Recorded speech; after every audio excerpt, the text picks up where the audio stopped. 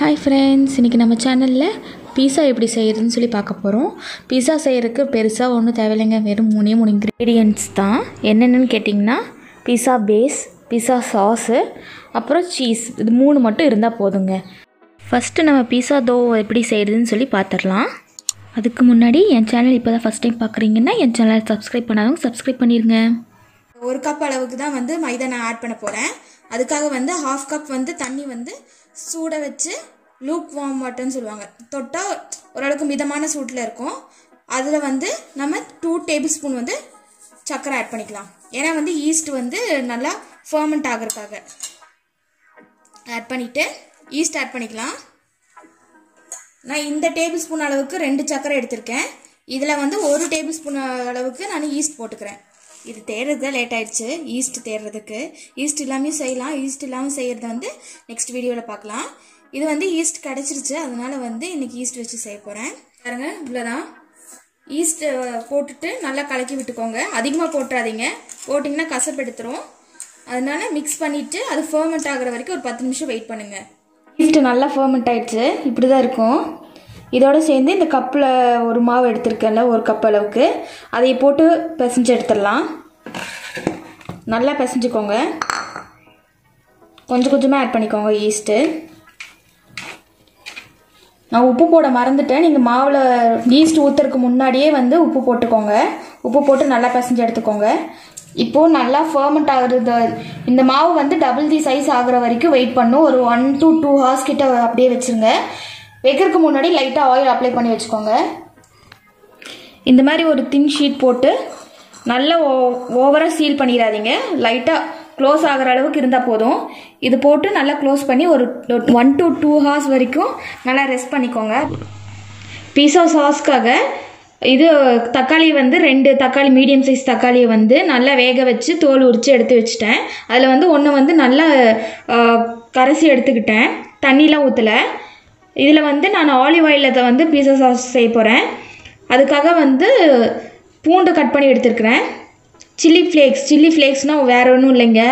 வரமிளகாயை நான் வந்து அரைச்சி எடுத்து வச்சுருக்கேன் அவ்வளோதான் இப்போ ஒரு பேனில் வந்து ஆலிவ் ஆயில் ஊற்றிக்கலாம் ஆலிவ் ஆயில் இல்லைன்னா பரவாயில்ல ரீஃபைண்ட் ஆயில் யூஸ் பண்ணிக்கோங்க. வேறு எந்த ஆயிலும் யூஸ் பண்ணிடாதீங்க. ரீ ஆலிவ் ஆயிலில் ஃபஸ்ட்டு கார்லிக் போட்டலாம்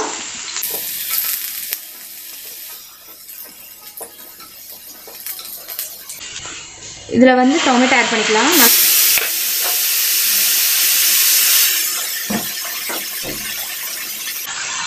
சாஸுக்கு தேவையான உப்பு.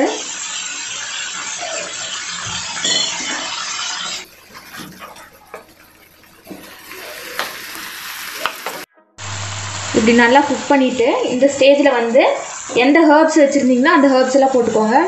என்கிட்ட இது நிறைய ஹேர்ப்ஸ் எல்லாம் இல்லை. எந்த ஹேர்ப்ஸுமே இல்லை சொல்லப்போனால் இது மட்டும்தான் இருக்குது சில்லி ஃப்ளேக்ஸ் அதுவும் நானாக தான் கிரைண்ட் பண்ணி எடுத்துக்கிட்டேன்.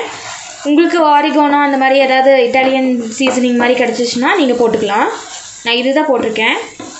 இதை போட்டுட்டு நல்லா குக் பண்ணிவிட்டு ஒரு டூ மினிட்ஸ் வரைக்கும் நல்லா குக் பண்ணிவிட்டு ஆஃப் பண்ணிடுங்க அவ்வளோதான் பீஸா சாஸ் ரெடி ஆயிடுச்சு.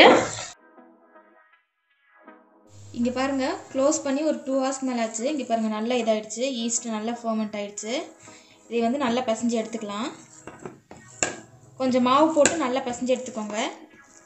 லைட்டாக தூவி நிறைய போட்டிருக்கோன்னா கொஞ்சம் லைட்டாக தூவி நல்லா பிசைஞ்சு எடுத்துக்கோங்க. ஏன்னா வந்து அப்போ தான் கொஞ்சம் ஸ்ட்ரெச்சியாக இருக்கும். பீஸா டவுன்னா அப்படி தான் இருக்கும். பாருங்கள் இப்படி ஸ்ட்ரெச்சாக இருக்கும். நல்லா இப்படி இழுத்து இழுத்து பிசைஞ்சுக்கோங்க. இப்போ இந்த மாதிரி ஒரு பேன் எடுத்துக்கோங்க. மேலே மூடி இருக்க மாதிரி எடுத்துக்கோங்க. ஆயில் அப்ளை பண்ணிவிட்டு மேலே லைட்டாக கேக் பேட்டர் வந்து எப்படி போடுவோமோ அதே மாதிரி ஸ்ப்ரிங்கிள் பண்ணி விட்டுக்கோங்க. இதில் வந்து இந்த பீஸா தோவை வந்து நல்லா ஸ்ப்ரெட் பண்ணி விட்டுக்கோங்க. எவ்வளோ தின்னாக ஸ்ப்ரெட் பண்ண முடியுமோ அந்த அவ்வளோ தின்னாக ஸ்ப்ரெட் பண்ணி விட்டுக்கோங்க. இப்படி இந்த மாதிரி ஃப்ளாட் சர்ஃபேஸ் மாதிரி இது பண்ணிவிட்டு சைடில் வந்து ஒரு பிரிட்ஜ் மாதிரி ரெடி பண்ணிக்கோங்க. ஏன்னா வந்து உள்ளே போடுற இன்க்ரீடியன்ட்ஸ்லாம் வந்து வெளியே போகாமல் இருக்கிறதுக்காக. இப்போ தான் பீஸா சாப்பிட்டவங்களுக்கு தெரியும் சைடில் வந்து கார்னர்ஸ் வந்து கொஞ்சம் திக்காக இருக்கும். அதனால் பிரிட்ஜ் மாதிரி க்ரியேட் பண்ணிக்கோங்க.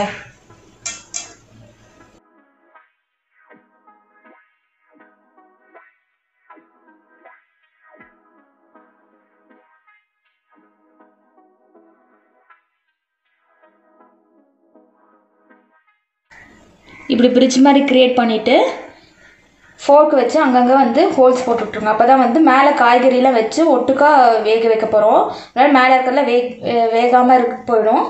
கை இப்படி பண்ணிட்டிங்கன்னா மேலே போடுற ஸ்டஃபிங்ஸ்லாம் வந்து அழகாக வெந்து வந்துடும் அதுக்காக ஃபஸ்ட்டு பீஸா சாஸ் ரெடி பண்ணி வச்சோம்ல அதை வந்து மேலே போட்டுடலாம்.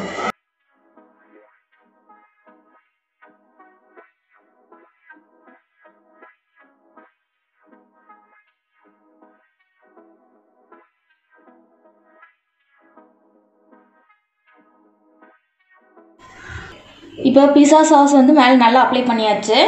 அதுக்கப்புறம் மேலே இருக்கிற வெஜ்ஜீஸ் உங்களுக்கு தேவையான வெஜ்ஜீஸ்லாம் வந்து நீங்கள் உங்களுக்கு ஏற்ற மாதிரி நல்லா அழகாக ப்ரெசென்ட் பண்ணிக்கோங்க.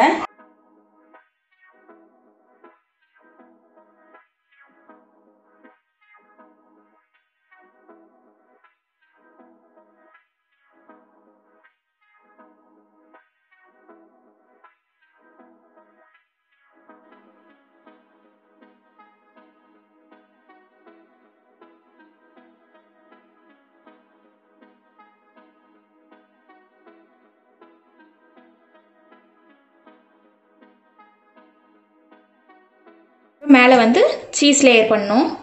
இங்கே பாருங்கள் இந்த மாதிரி கடையில் கிடைக்கும். மில்கி மிஸ் மொசரிலா சீஸ்னு இதே தான் நான் வாங்கியிருக்கேன். நீங்களும் அந்த மாதிரி யூஸ் பண்ணிக்கலாம். இது கிடைக்கலினாலும் பரவாயில்ல.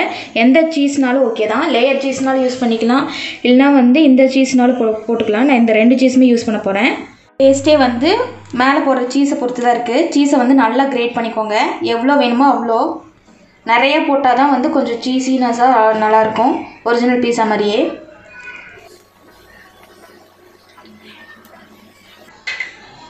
அவ்வளோதான் இப்போ வந்து இது குக் பண்ணுறது மட்டும்தான் வேலை. இதை வந்து ஸ்டவ்வில் வச்சு சிம்மில் எப்போதுமே கேக் பேக் பண்ணுற மாதிரி இதுவும் வந்து ஒரு டென் டு ஃபிஃப்டீன் மினிட்ஸ் வரைக்கும் க்ளோஸ் பண்ணி நல்லா வச்சு எடுத்துட்டிங்கன்னா பிஸா ரெடி இப்போ வச்சு பார்த்துடலாம் கரெக்டாக வருதான்னு சொல்லிட்டு வச்சிடலாம் அவங்க இப்போ ஸ்டவ்வில் வச்சாச்சு. க்ளோஸ் பண்ணி ஒரு டென் டு ஃபிஃப்டீன் மினிட்ஸ் வரைக்கும் அப்படியே விட்டுடலாம். இப்போ பாருங்கள் கரெக்டாக டுவெண்ட்டி மினிட்ஸ் ஆச்சு. எடுத்துடலாம். பாருங்கள் நல்லாவே வெந்துருச்சு. வெளியே எடுத்துடலாம்.